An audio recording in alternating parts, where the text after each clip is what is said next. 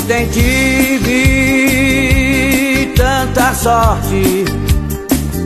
A malvada da morte andou perto de mim.